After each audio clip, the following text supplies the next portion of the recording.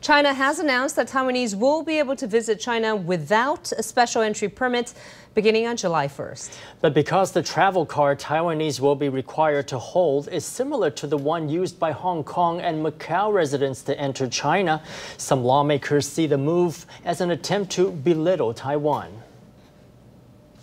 Four days ago, Chinese official Yu Zhengsheng said Taiwanese would no longer need an entry permit to enter China.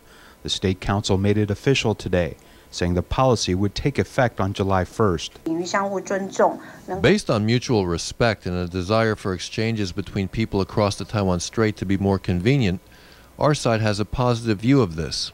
The mention of the need for mutual respect came after Beijing unilaterally announced the policy did not discuss it beforehand with Taiwan's Mainland Affairs Council.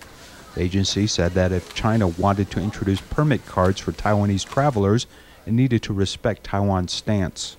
The permit cards raised eyebrows because Hong Kong and Macau residents use similar cards to enter China, leading to worries that Taiwan's sovereign status was being belittled. We worry that in the future that China will directly write on the card People's Republic of China or other words that belittle Taiwan, or even use pictures to take advantage of users. Based on the 5.36 million visits to China made by Taiwanese nationals last year, the Transportation Ministry estimates the elimination of entry permits will save travelers 1.07 billion NT dollars in fees, but also save the three days currently needed to process the entry permit.